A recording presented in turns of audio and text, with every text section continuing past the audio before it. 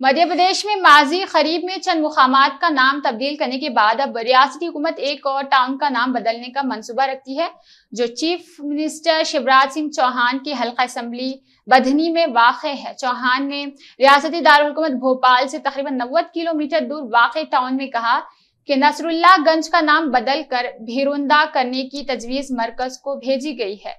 और अपोजिशन कांग्रेस ने chief minister पर फिरका वाराना एजेंडा को आगे बढ़ाने का इल्ज़ाम आयद किया, जबकि बरसर इकतदार बीजेपी का कहना है कि रियासती हुकूमत तरक्की पर तवज्जो दे रही है।